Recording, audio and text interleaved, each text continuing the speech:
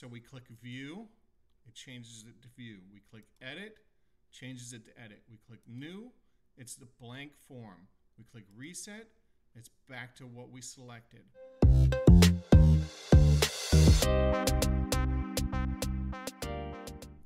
Hey everyone, this is my SharePoint questions, and today I'm going to go back to basics and talk about Power Apps forms. I feel like I'm getting a lot more questions about the basics. Maybe people are back in school. It's really neat to hear from you guys that you know you're using Power Apps in college. Uh, I didn't have that opportunity. I didn't learn until I was actually a Microsoft consultant. So I want to go through a few things here.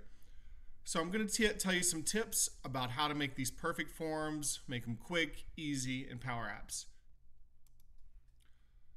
So I have a SharePoint list here, right? A few different fields, right? It's a very basic SharePoint list.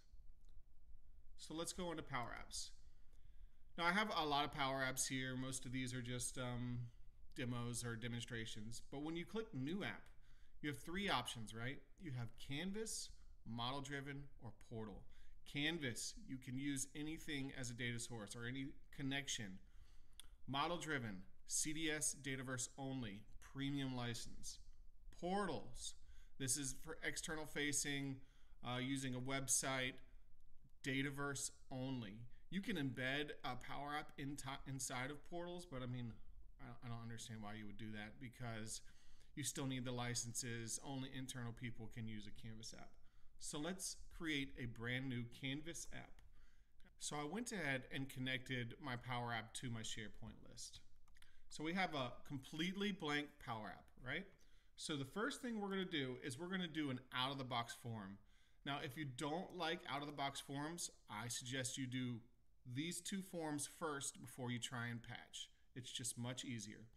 Normally, I do edit. So we're going to do edit form. Now, when you add an edit form and ask you connect, connect to data, right? So we're going to connect to that SharePoint list. All right, so I changed my data source to my events list. That's right here in SharePoint, events. That's the name of my SharePoint list. I connected to it.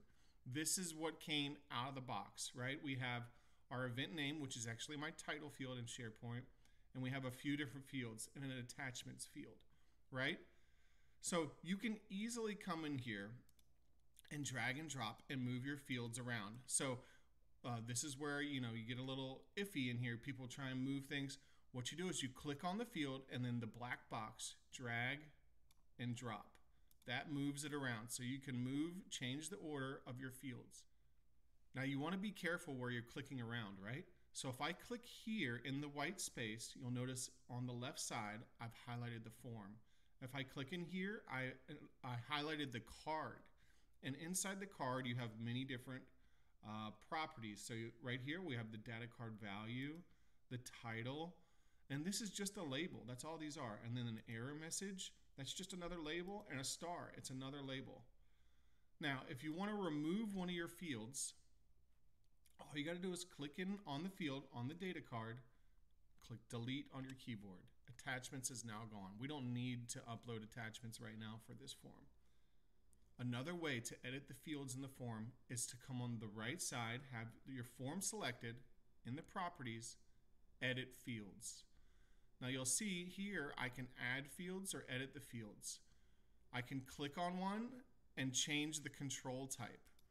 Now, if I were to come into a field and unlock it, I'm not going to be able to change the control type. So don't unlock a field until you have changed the fields to what you would like if you wanted to be a drop down. Now when I come into edit fields, you'll see I can come to, let's say, event type. I can change it to either a multi-line text, allowed values, a phone number, email, rich text, edit rich text. So I can change the field to those different types. I can come into add fields and I can bring any of the out of the box fields that come with a form in. So I can bring in modified, modified by, I can bring in the ID. So let's bring in the ID. I brought in the ID. Now here's another way you can change the order. I can drag ID to the top and it changes the order here also. And now if you notice in the control type, we have a few different ones. ID is, is like a number in SharePoint, so we have percentage and rating. Now, we have the form. This is where the do the math comes in, right? We have three columns. Three columns. Now, if we come into our card and we go to the size, you'll see the width is 430. If we want more space and for this card to take up space, we really should double it exactly, right? So some, from 430, we'll change the width to 860. Now that gives us more space. The reason why we want to do the math is because if we do less, you know, it, it, it fights us, it starts doing funny things. Just do the math, change it to 860. Each of these cards is going to snap into place. That's just uh, one way that the forms work. You can make it just automatically snap, right? And so you want to keep that on. There are ways to turn that off, turn off the automatic snap of the form. Right here, snap columns. Don't do that. You're going to make a mess. It's going to take you forever to edit it. Just do the math, change the width to 860. Now that we have building name larger, we gave it more space. Let's do event type. So I'm going to drag event type over. I'm going to change it to 860. That gives us the large width again. But let's say, oh, um, event type, maybe this was supposed to be a multi-line text field. So we can come to edit fields, change event type, and change it to multi-line text. That gives us more space, right? And say we wanted more space. We can just drag it open both parts. So you have to be careful where you're clicking on. So this is the card. Inside the card, you'll see we have many different things. In the value, we can drag that open now and make the card larger. So now when we, we can see that we have a lot more space. All right, so this is where I was saying, if you hit the play button, if we hit play, it's blank. Oh no, it's blank. What am I gonna do, right? All right, so why is it blank? it doesn't know what you want in each one of the forms. So let's say we have a form here.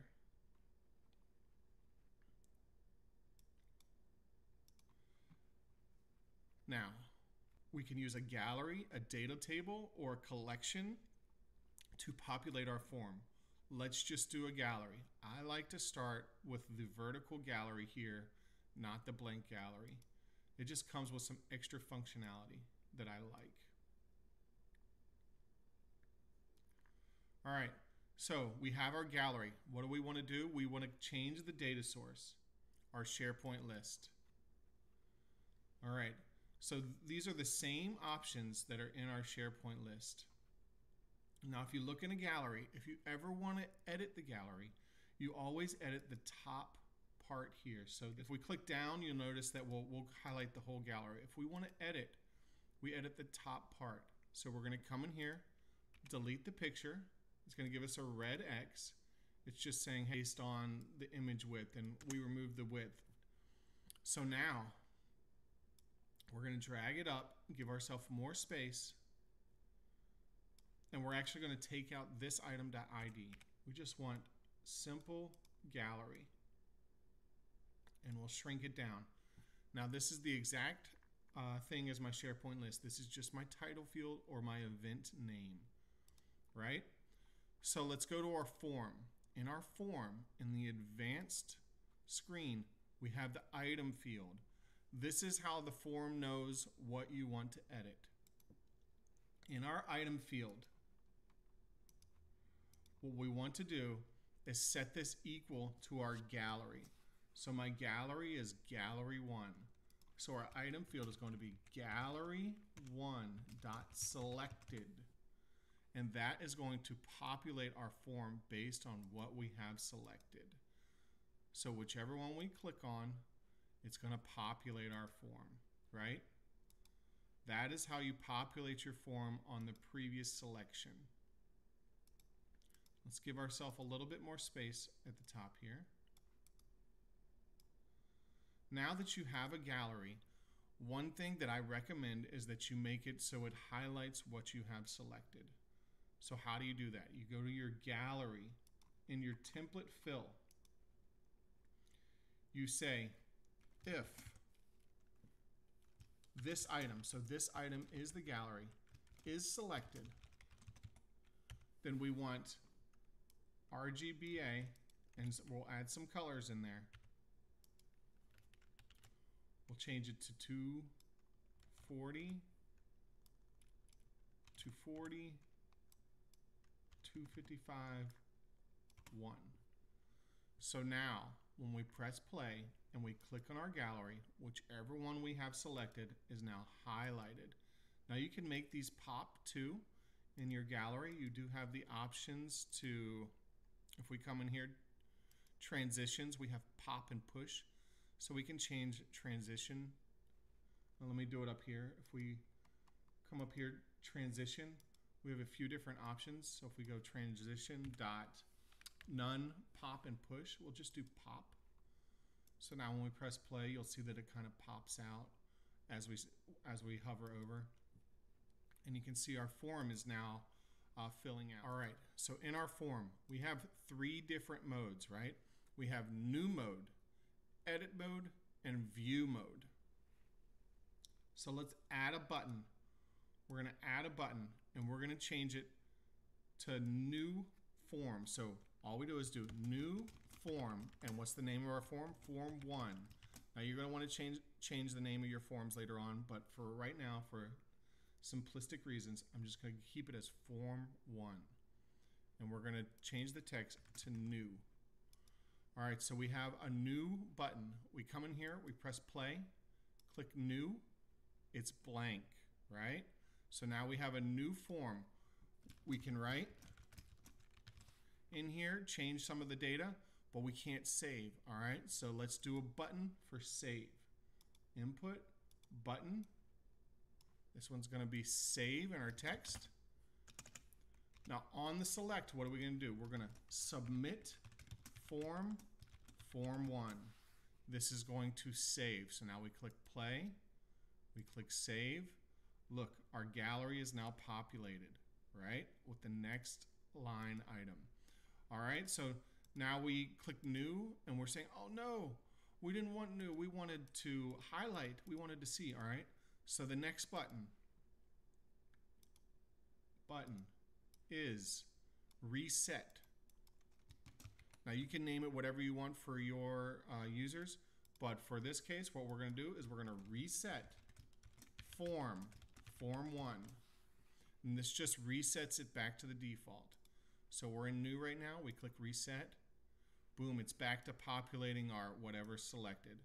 So we have new, blank, we can save it if we want. Then we can reset it back to the selected. Next, what do we want to do? We want to change to either edit or view, all right? So I'm going to slide these buttons over. I'm going to add a new button. This is going to be our view. So how are we going to change the, the form to view? Well, we have to create a variable. There's two types of variables. Global variables, which is across your whole Power App. Context variables, which is just for this screen. We're going to do a context variable. So on select, we're going to say update context. In parentheses, curly bracket. We're going to name this variable form mode. And then we're going to do a colon, and that's going to be form mode dot view. And then close our, our brackets and the parentheses. So now that we have a button that changes it to form view, I'm going to copy this. I'm going to create another button, and this is going to be our edit. And I'm just going to go ahead and on the select, I'm going to paste it in there, update context, form mode, edit. All right, so we have a variable called variable form mode, and then depending on which button we select, it's going to change the form mode. So we're going to go back to our form. In our form, in our advanced properties, we have default mode. We have default mode. Default mode is edit. We're going to change that to our variable, variable form mode. All right. So we click view, it changes it to view. We click edit, changes it to edit. We click new, it's the blank form. We click reset, it's back to what we selected. All right. So we have all this on our form next. What happens when we save or submit our form? We need to show a success message or an error message, right? You've got to give input back to the user. So I'm going to exit here, the preview. We're going to go to our form. On success, we're going to say notify, or I'll do it up at the top here. On success, notify. What do we want to say? Success. Your line item was submitted.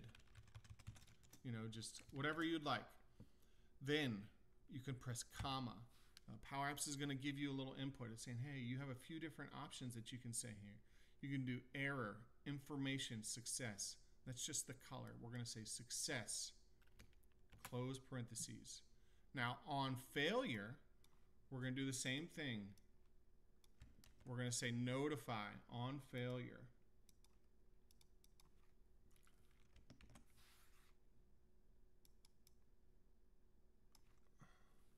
Your for your line item was not submitted. Notification type error. All right, so let's go ahead and submit one. Let's do a new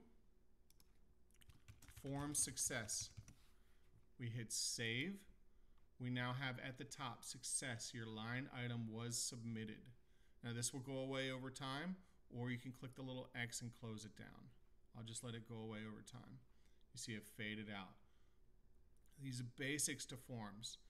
Uh, another thing you want to do, everyone loves to see it, to home, themes. You have different themes. Change the color of your form.